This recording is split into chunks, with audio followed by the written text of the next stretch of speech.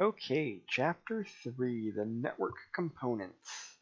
In this chapter, we're talking about different components such as the media, the network infrastructure, special, uh, specialized type devices, uh, virtual network devices, voice over IP, as well as other components.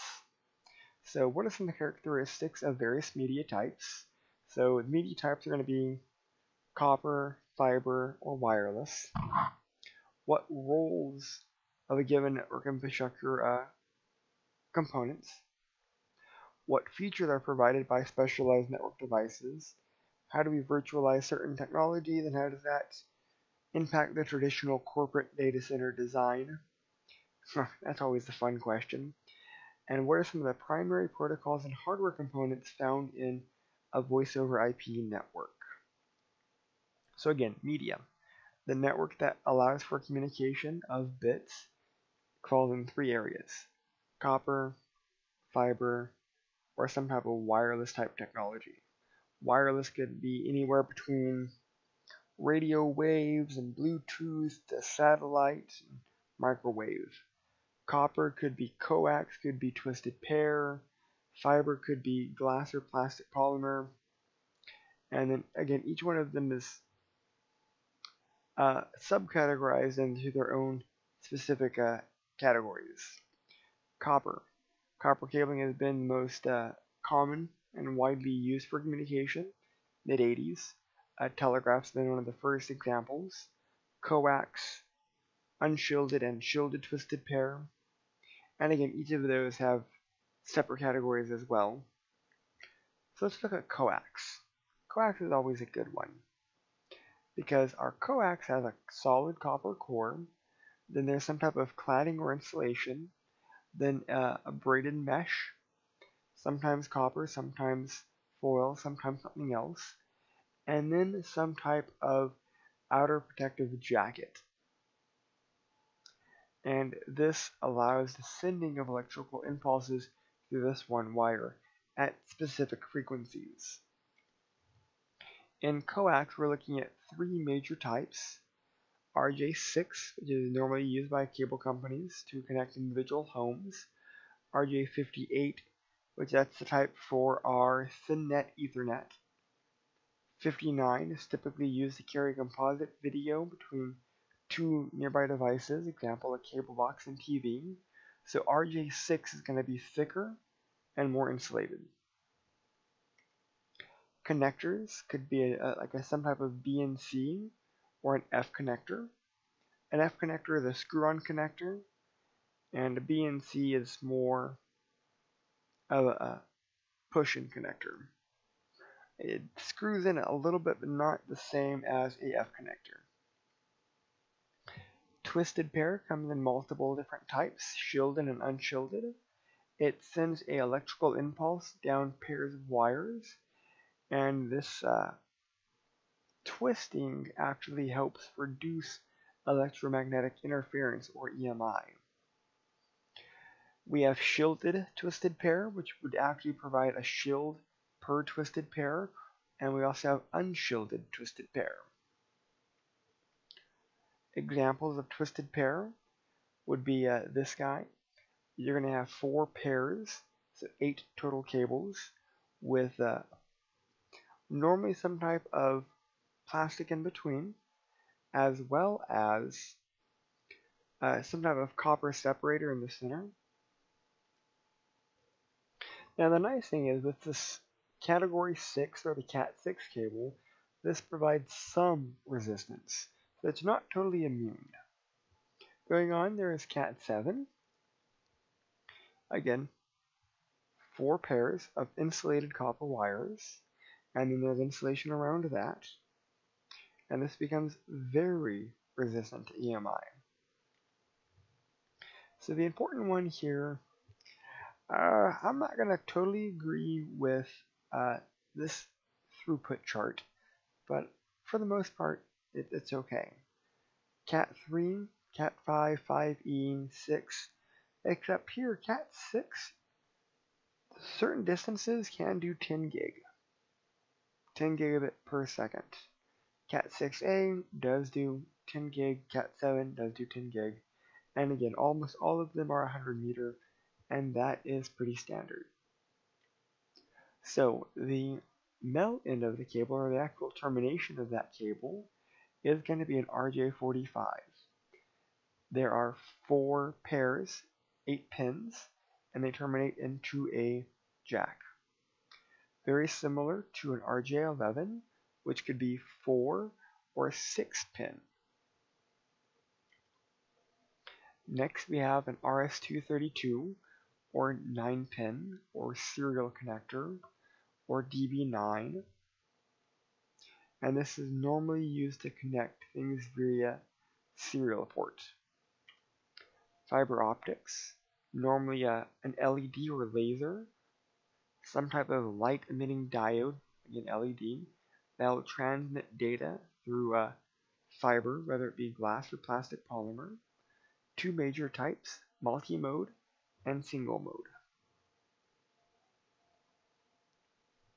So multi-mode fiber, MMF, the actual core size is 62.5 microns and it's normally used between devices like servers, between switches, router and switches.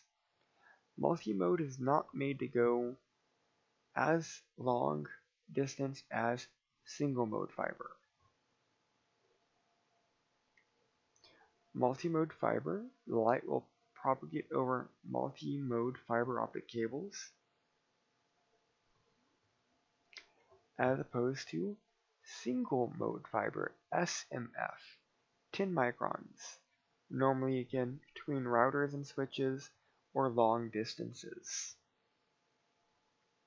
here we have the light propagation over a single mode fiber optic cable no actual critical angle is displayed to travel down the center. So now we have to think about how we connect them. Common connections for fiber optic is an SC, which is more like a square, ST, which is like a BNC, but it's more of a twist, LC, and MTRJ, or Mechanical Transfer Register Jack. SC, ST, and LC are very common, and they don't come as an individual wire, they come as pairs. Like you'll notice our LC, there's two strands of fiber. Our SC, again, there's always two. ST, again, there's always two. Even though the photo only shows one, these come in pairs. One for sending, one for receiving.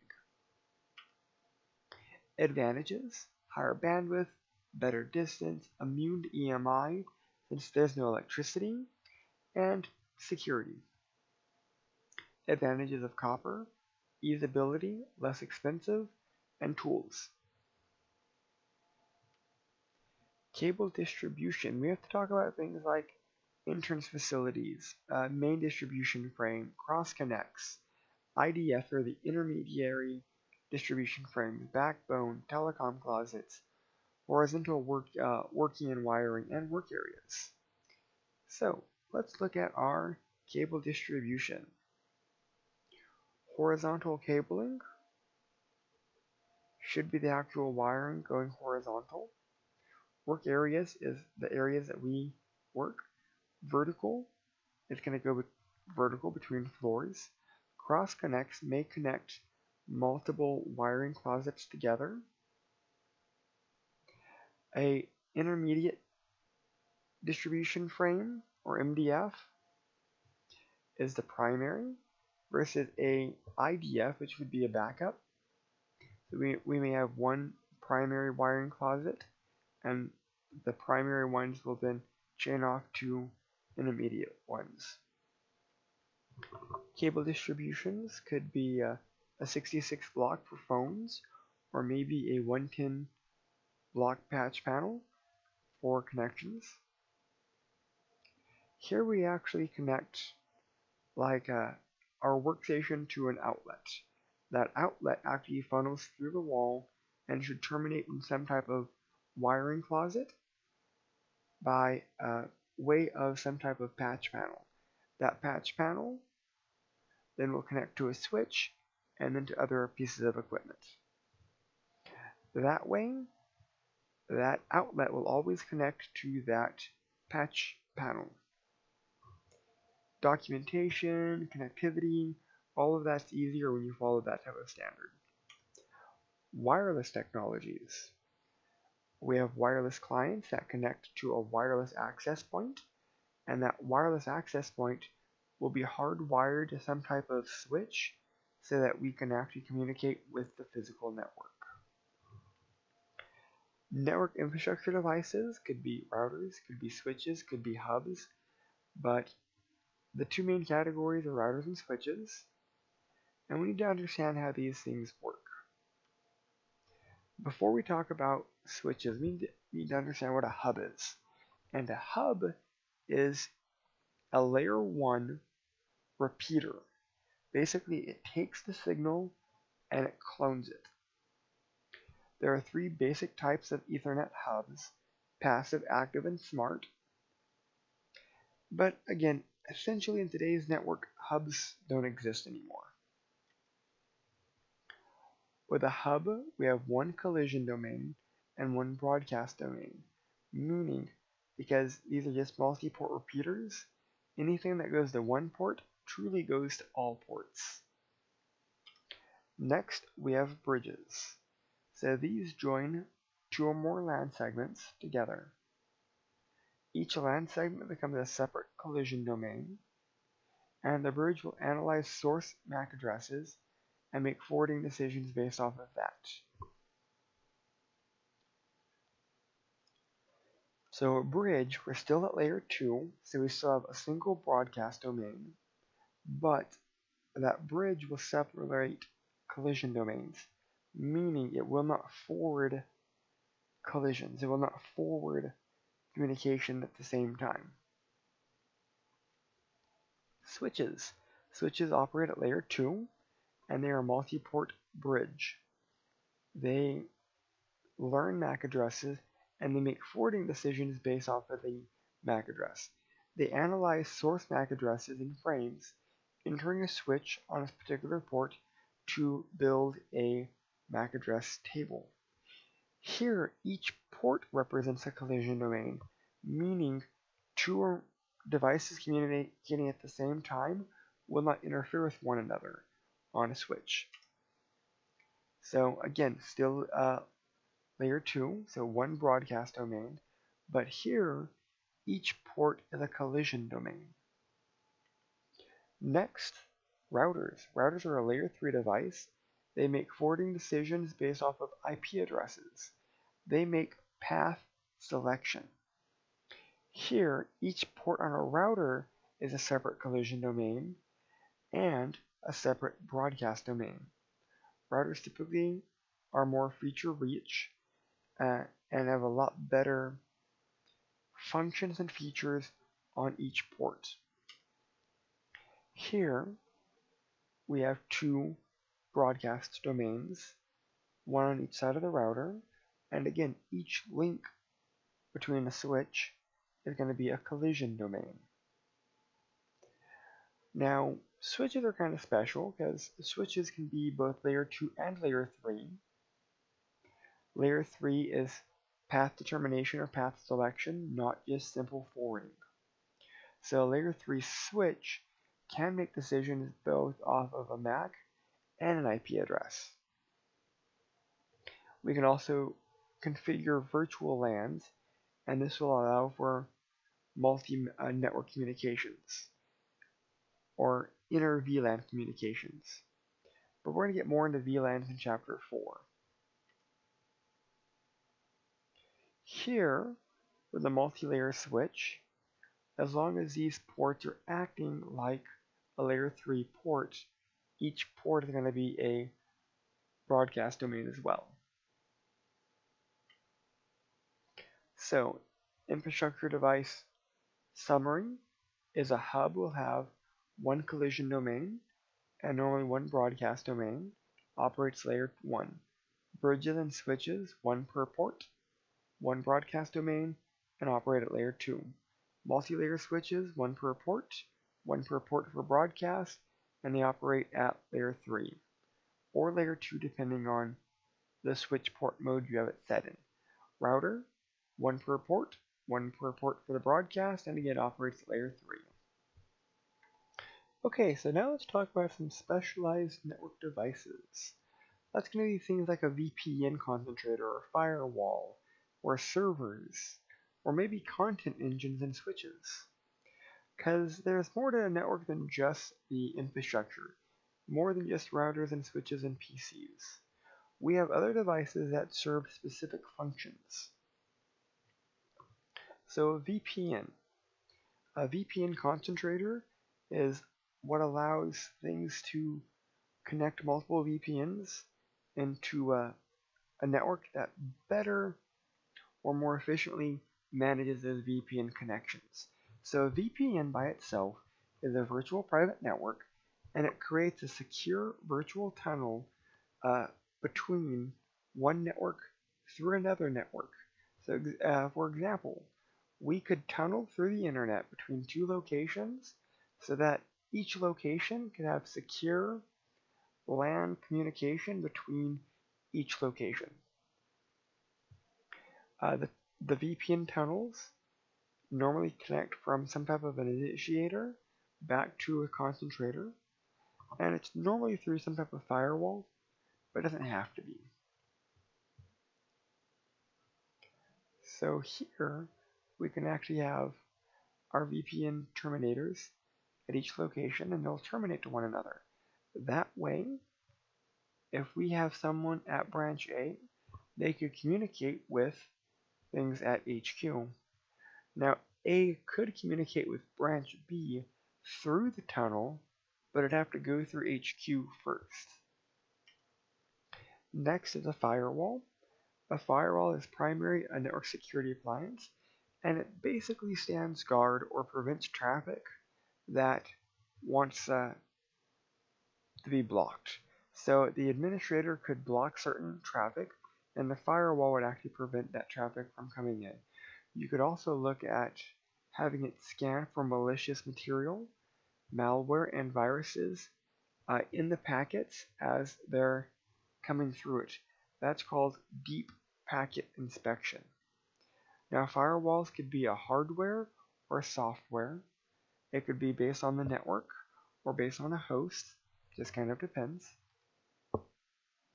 So normally our firewalls sit at the edge of the network and everything funnels through it. It normally will block any request coming from outside in unless something on the inside originally initiated the request. Meaning, normally the outside is not allowed into the network unless something on the inside of the network requested it. DNS, domain name system, it is a function or a service that allows us to translate between IP addresses and domain names and back and forth. So if we go to google.com, DNS looks up the appropriate IP address for Google and then routes it accordingly. Without DNS, our internet would not really function because we don't remember IP addresses, we remember names. So DNS is what allows us to do that. Because again, domain named IP address and IP address back to domain names. That way we can access a resource via its name. Normally, each PC will have a DNS server, and if you're trying to go to google.com, or here the example ciscopress.com, you don't know where that uh, IP is at, or you don't know where that domain name is at. So first you have to query a DNS server that will translate the ciscopress.com to an IP address, and then once you have the IP address, it will forward it to that IP address. There is a structure. The very top of the structure is called root, and then underneath root is all the subdomains .com, .biz, .info, .net, .edu, and then underneath each of those domains extensions will be like cisco.com, amazon.com, because they're all underneath the .com. if we're looking at .mil, Navy, Air Force, Army, if we're looking at .edu, that's going to be all the schools like csn.edu, unlv.edu, all of them will fall underneath that edu extension. Next should be our DHCP server, and that is so that we do not have to manually or statically assign addresses. This DHCP, Dynamic Host Configuration Protocol, will automatically hand out IP information to our hosts, thus allowing us not to have to manually set it. You can include things such as an IP address, a subnet, a gateway, and a DNS server when setting up DHCP. So there it's a four-step process. First, the PC comes online, we'll do a DHCP discovery. Basically, it sends a broadcast trying to find the DHCP server. DHCP will offer, it will say here's a suggested IP. Then the third step, DHCP request from the PC, it will say I accept this IP address. And then the last step, step 4, DHCP ACK, that will have the DHCP server acknowledge that that is now your IP address proxy server. So proxy server is just a way to forward traffic. Instead of a direct path, we could send it through a proxy. That proxy could be in another country, could be a different region, but we could have our traffic forward through a particular proxy. Thus, that traffic would look like it's going from somewhere else. An example would be setting up a proxy server, and that way we will communicate through the proxy, and so outside will only ever see the proxy and never us. Content engines and switches, this allows us basically to help filter. So the content switches are also known as a load balancer. This allows us to better keep certain addresses and information current. For example, if we keep going to Google, maybe this content engine will actually keep google.com cached so a little easier to respond. Content engines sometimes are also used for filtering, but there is a dedicated device out there called content filters that will filter traffic based off certain criteria, such as the school may now ban pornography being viewed. The content filter will actually then filter out all pornography. Here's our content engine. Content switch is very similar except it's not at the switch level. Virtualization. So if we're looking at lots of hardware, we could actually virtualize several servers onto one physical server. That one physical server has to have a lot more resources, but it could better utilize the services that are there. I have several videos on virtualized servers, so if you want more details, check them out. Virtual servers, again, it could be virtual components, virtual hardware, virtual software, virtual networking equipment. Last topic is VoIP, voice over IP. So in this regard, we're taking our traditional voice traffic and now we're digitizing it and sending it over a data network. So we're getting rid of our traditional PBX solutions, so no more traditional phone systems, and we are going through some type of database or data-driven PBX on a data network. Normally we call this a call manager. So the call manager is actually going to be the data PBX and that's what's going to handle our calling. And that is going to, the IP phone comes online, it will communicate through the call agent to allow communication through a gateway. And normally this is done through SIP. And this is just an iterative voice, but this is just one way of doing it, as opposed to having a dedicated PBX and analog phone systems. SIP stands for Session Initiation Protocol. RTP stands for Real-Time Transfer Protocol. And PSTN is a public switch telephone network. POTS is just a plain old telephone system. That way we have some basic understanding of what VoIP does and the different specific components. And that is it for this chapter. I want to thank you.